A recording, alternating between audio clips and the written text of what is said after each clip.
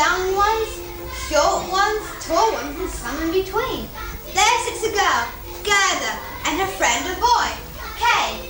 It's winter when the story begins. Yes, I know how it begins, but I'm not sure how it's all going to end up, for I haven't invented the end yet. Anyway, here we go, the story of the Snow Queen. And as the wind blew faster and faster, and the snowflakes flew round and round, it grew